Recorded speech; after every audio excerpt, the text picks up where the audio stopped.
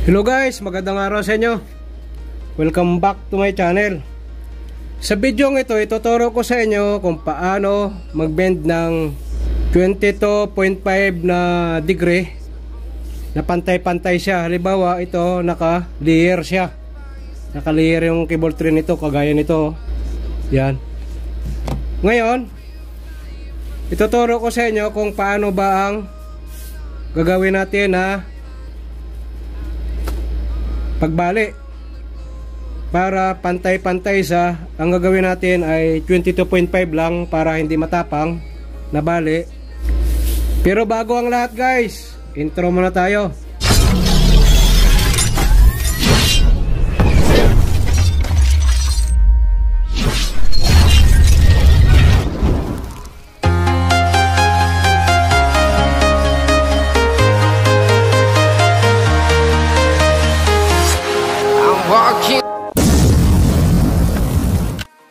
Ngayon guys, babalik tayo dito. Halimbawa, ito na yung support natin. Tatlo. Tatlong layer ito. Ibig sabihin, nakaganito. Yan, layer. Mula pababa, pataas. Hindi siya naka horizontal. Naka vertical ito sa guys. Ngayon, ito yung halimbawa dito, yung ano natin. Halimbawa, ito yung cable tray natin. Pag dinaritso, may tatamaan siya. May tatamaan. Kaya ang gagawin natin i-offset natin ng paganito. Yan. Kaya ang tatlong gagawin natin halimbawa tatlong cable tray ito itypical natin siya ng bali ngayon guys umpisa na natin. Halimbawa dito tayo magumpisa. Ito mula dito Yan. Mula dito ay babali tayo ng 10 cm. Kasi pangit naman pag dito tayo magsimula. Kaya dito tayo magsimula ng cutting.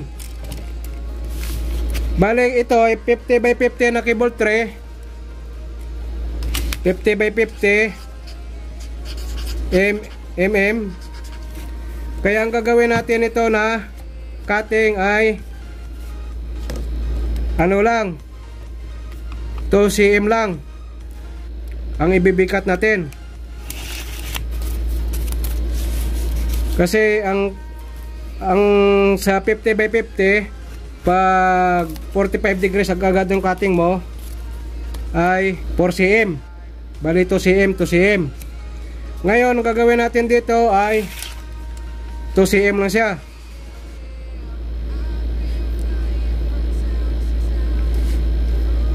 Bali 1 cm sa kabila, 1 cm sa kabila. Ngayon, yung cutting natin ay papunta dito muna. Yan. Pataas. Ina natin ito.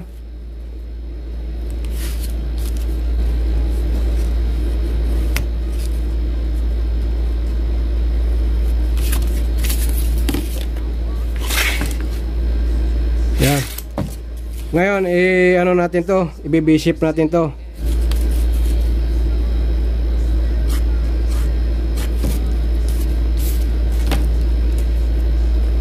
Katingan natin. I-forward lang natin guys. Bali yung una-una natin na cutting.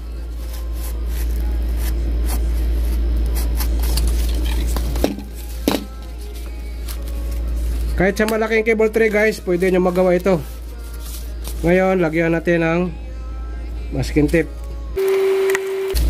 Ngayon ito, bali ito at saka ito, yon ang kukunin natin. Ngayon, kukunin natin yung height nito. Mula dito, mula dito at saka dito, dapat may reference kayo. Yan. Bali dito sa tumapat, ito yung una-una nating ano, support papunta dito dapat libilado siya para makuha natin. Ngayon susukatin natin kung ilan yung offset nya ang offset nya ay 6 cm halimbawa lang ito. Ngayon paano ba natin makuha ang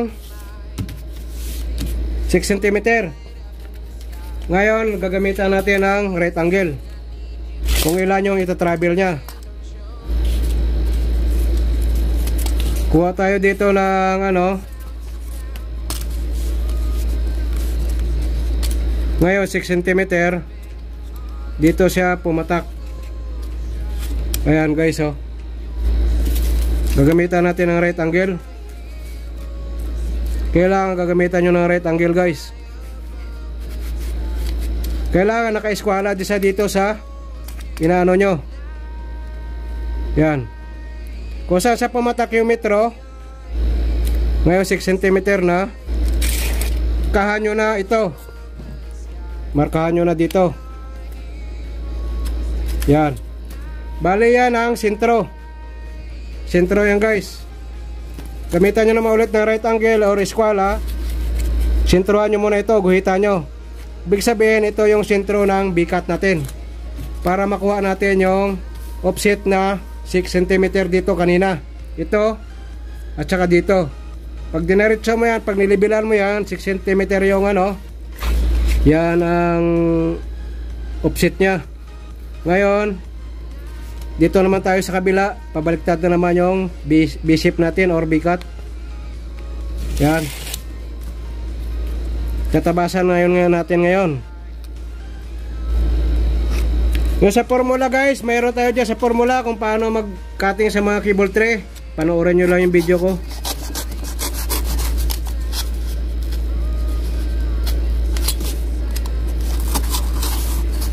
Lagyan natin ng masking tape.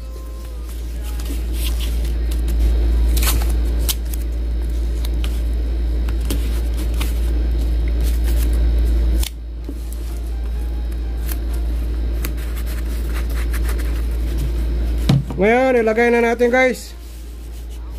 Ayan, tingnan nyo, tumama siya, di ba? Ang offset natin. Ganun lang yung gagamitin nyo, yung eskwala lang. Ngayon, nakuha nyo na ito. Para magpantay-pantay sa, ipareho nyo na lang ito ng cutting. Pareho nyo. Ang sikreto dyan, para magpantay-pantay sa na ganito, halimbawa ganyan, hindi sa magsobra dito, yan, laging nakaganyan. Ang isa natin sa susunod. Kung paano yung kinatin nyo rito yung binisip nyo kasi 2 cm tayo 2 cm mag minus tayo guys mag minus tayo ng kakatingin halimbawa ito yung una natin 10 cm kanina Minus 2 tayo rito. Minus 2 dahil yung B-shape natin is 2 cm.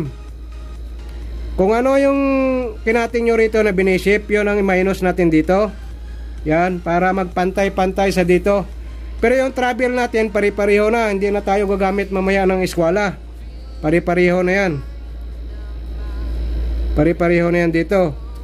Kaya, ang susukatin nyo naman ngayon, yung dito, at saka dito mamaya sa travel natin bali 15 ngayon dahil naguna tayo dito kanina sa 10 minus to dahil yung B-shape natin is 2 cm ngayon ito bali mag minus 2 tayo rito magiging 8 cm na lang. Yan. Minus 2 tayo rito bali magiging 8 cm dito tayo magumpisa ng B-shape Guhita natin. Ngayon,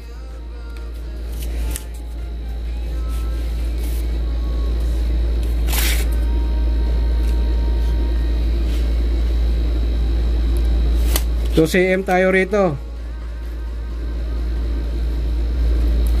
Pag sinukat mo rito, 1 cm ka rito, 1 cm, bali ang total natin ay 2 cm. Hindi ko na sasabihin sa iyo guys yung ano ha, yung formula. Kasi marami na akong nilagay diyan kung paano magkuha sa cutting sa ano natin. Sa cable tray natin yung formula. Bale yung kinakating ko na ito guys is 22.5 degrees hindi siya naka 45. Bale ang 45 hinati ko. Kaya nagiging 22.5 degrees.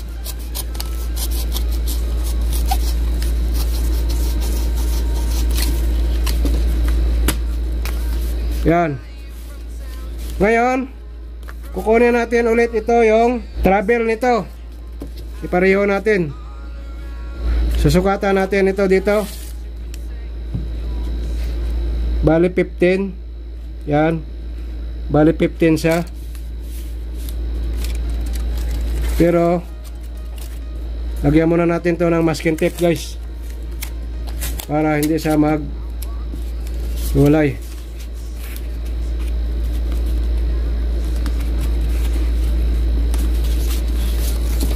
Ito yung video ko, ma-apply nyo to guys kung sa totoong cable tray na yung binibend nyo. Ngayon, sukatan natin ng 15. 15 cm. Dahil 15 cm ito guys oh. Yan, 15 cm siya. 15 cm. Gamitan natin ng right angle. Kunyari, right angle ito. Yan 15 cm tapos sukat naman tayo rito ng 2 cm. Yan.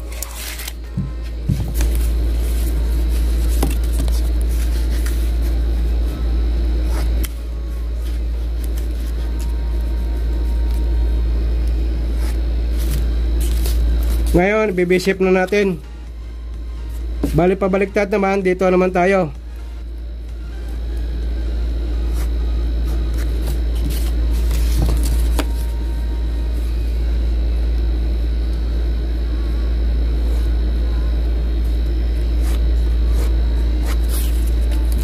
Bibisip na rin natin to Bali pabaliktad na naman Yung ginamit ko kanina guys Iskwala lang yon Walang formula na Iskwalahan nyo lang. Makukuha nyo na yung offset Ayan tingnan nyo. Ayan na Ayan tingnan Diba tumama sa guys oh? Saktong sakto dito. Dito sa ano natin pantay-pantay sa ngayon lagyan natin ng masking tape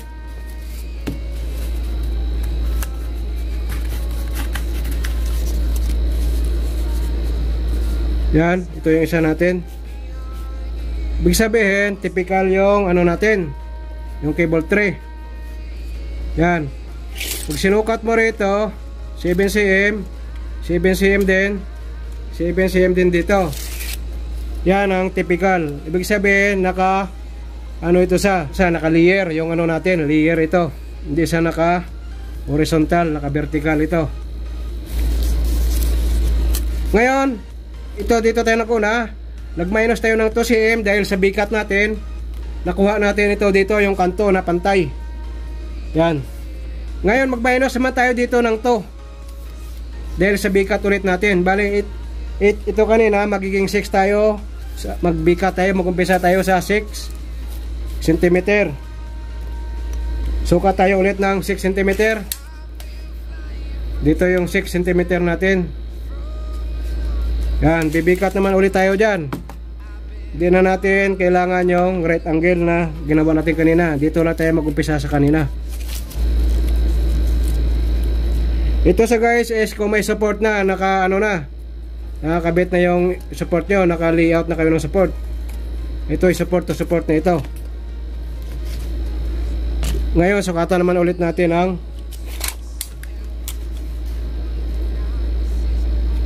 to cm yan.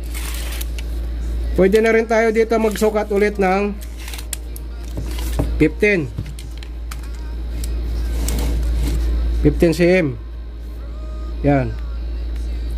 Ito na yung travel natin. 15 cm na. Ngayon guguhitan natin. Forward ko lang. Tapos dito 15 cm ulit dito guhit ulit tayo ng yan. Ito sa guys ay kanto ha kanto lang ito hindi ito sentro. Kanto ito. Yung una-unang 15 natin kanina. Baka ma kalimutan nyo. Eskwalahan natin o rectangle.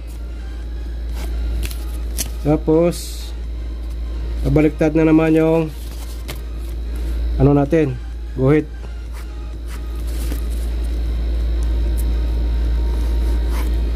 Ganun lang yung sekreto guys sa mga pagpantay-pantay.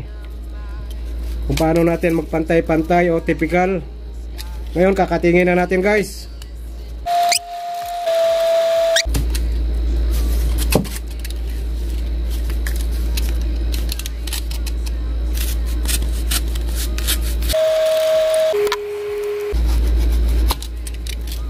Nakating na natin, lagyan natin ng masking tape. Yan. Ngayon, lalagay na natin guys. Ito yung pangatlong ano natin? Layer. Ayaw na sa guys. Pareho na ang ano natin. Yan. Bali ito si channel sa. Yan ang pantay-pantay na bend natin. 'Di ba? Pantay-pantay sa guys. Walang mahaba, walang mataas. Ganun lang yung pag-bend ng ano. Pag ano yung kinating nyo rito, minus 2 lang tayo lagi dito. Patras, patras, patras. Kaya ang mangyari niyan, kung marami kayong ililier o lima, habaan nyo ito dito. Dito nyo habaan ng umpisa para hindi sa kapusin kagaya nito. Yan. Kaya pag sinukat mo ito, pareho yan dahil pantay-pantay.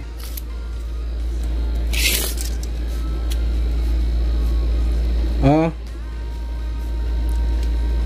7 cm 7 cm 7 cm 7 cm mula sa taas ng cable tray natin pero pag mag-support to support tayo, 12 cm, 12 cm, 12 cm yung support natin. Yan. Ang support nito at saka dito, dito at saka dito, 12 cm. Pero pag sa cable tray to cable tray, taas ng cable tray natin. Yan. 2 cm, ah, 7, 7, 7, 7. Kaya pantay-pantay sa guys, di ba? At saka dito, pantay-pantay sa. Ganun lang yung sikreto guys sa pag-bend natin ng pantay-pantay na cable tray.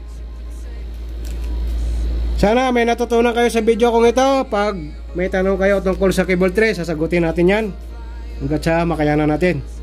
Yung ginaba ko kanina, ito yung eskwala lang kung paano kunin yung offset kasi pag naka-angle ka na, makukuha mo na yan.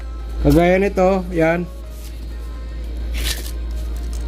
Ibig sabihin, naka-angle ka na. Yan, dahil yung kinuha natin kanina ay 6 cm. Tingnan nyo, naka-angle sa. Yan. Kaya dito ko ginuhitan kanina dahil dito tumama yung ano natin, kagaya nito. Oh. Kailangan may mahaba kayo tapos titingnan nyo lang na naka angle sa tapos may right angle kayo ilagay nyo rito. Yan. Dapat nakakanto yan. Kung saan tumama lagyan nyo ng right angle. Tapos guguhitan nyo yon ang straw nyo guys. Sige guys salamat sa panonood. Ingat kayo lagi kung saan kayo naroroon sana may natutunan kayo sa video kong ito kung paano mag-bend ng pantay-pantay. At saka typical sa 22.5 degrees na bending natin.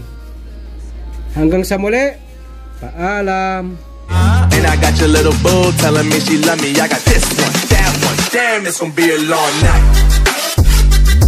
Yeah